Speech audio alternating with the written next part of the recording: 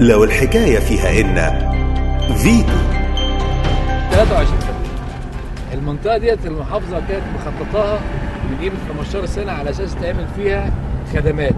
مجمع مدارس مستشفى آه اسم ثالث لل آه، أو حي ثالث للمحلة لطنطا آسف. آه ولكن للظروف اللي إحنا كلنا نعلمها في الفترة اللي فاتت توقفت هذه المشروع. الحمد لله إحنا خدنا جزء من الاستثمار من الخطه الاستثماريه والعجلة عشان نعمل هنا آه، بنية ونبدأ نشتغل. تقريبا حوالي 40% من المساحة مخصصينه لموقف العربيات المرفأ النقل الداخلي والسيرفيس على مستوى حضاري بمظلات بخدمات مسجد جراشات آه، ورش آه، أماكن خدمه عامة سواء يعني المرافق كلها بتاعه الإيه؟ لخدمة المسافرين. أو ال- القائمين على تشغيل ال- ال- الموافين. مجمع مواد مجمع واحد ده هيتعمل على حوالي حوالي 40% من المساحة اللي هي 23 فدان نيجي الجزء التالي اللي قدام حضراتكم ده متقسم حوالي آه، آه، 30 أو كده. هيبقى فيه آه، مرور هيبقى فيه وحدة محلية هيبقى فيه مجمع خدمات. الجزء اللي هو ده بحيث إن نفس الموضوع المرا...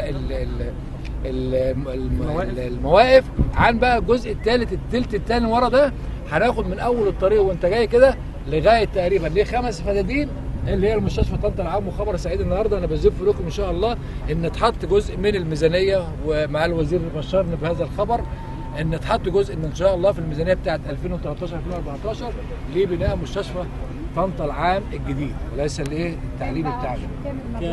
لسه والله إحنا يعني كانوا. طالبين لسه منك بدايه محاضرات الجدوى علشان يبدأ اخراج المشروع بشكل رسمي إن شاء الله. التكلفة بتاعت المشروع ده لسه بس. خلينا بس. بس دول كذا مشروع في بعض.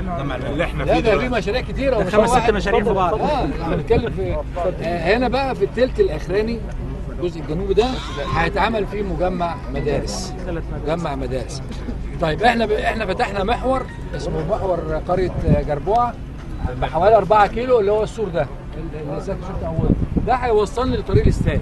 يبقى ده فتح محور. بدل أنا ما أجي من هنا أخش على الزحمة اللي هنا في شارع البحر وبتاع؟ لا ده أنا بخش على الإستاد بخش على طنطا ده هيخدم وزائد هيخدم محله م... م- محل النوف والجامعة والمناطق والجامعة. هنا مجمع هنا المجمع بتاع الجامعة بتاع. جامعة طنطا كل ده هيحل لي مشاكل بتاع دول الأربعة الجامعة كيلو يعني- يعني- الأربعة كيلو دول هيخلصوا شهر؟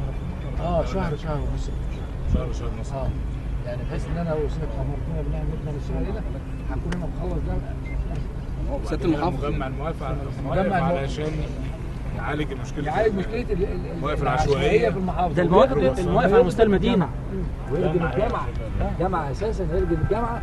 وهنا حوالي 50000 الناس القريه بتاع السيبركيت الواحده يعني أكثر من 50000 فده لكن هيحل لي مشكلة تكدس المرور هيبقى في حاجة حضارية. هيبقى هيربط بقى يعني كل اللي هيجي من طنطا أنا رايح إسكندرية. في دخلي هيجيبه هنا. وياخد من هنا اسكندرية. وفي مقايسه واضحه للموضوع واضح كل إحنا إحنا الطرح بتاعنا جاهز. يعني كروس تفاصيل بتاعتنا موجود. يعني لكن معاليك بدل تسع مواقف عندنا في طنطا. هيبقى موقف واحد أنا عايز المقايسة مقايسه مش. تفصيليه لي جاهز.